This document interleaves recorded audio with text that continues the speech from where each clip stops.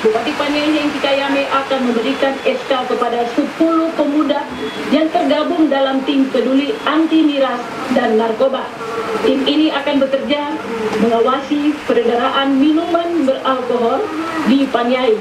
Hal tersebut disampaikan Bupati Paniai saat tim peduli anti miras Paniai menggelar aksi kampanye di jalan guna mensosialisasikan program kerjanya yakni melawan miras.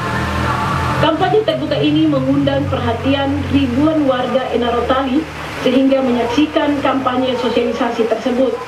Kegiatan ini dipusatkan di pertigaan jalan menghubungkan jalan ke dalam pasar gedung Serbaguna Utawago, Yogi, dan jalan yang menuju ke Bank Papua Enarotali.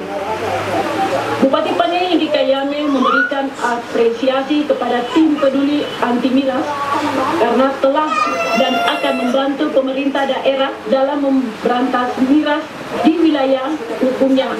Dikatakan hal ini dilakukan agar mencegah kematian para remaja dan pemuda akibat mengkonsumsi minuman keras di daerah tersebut.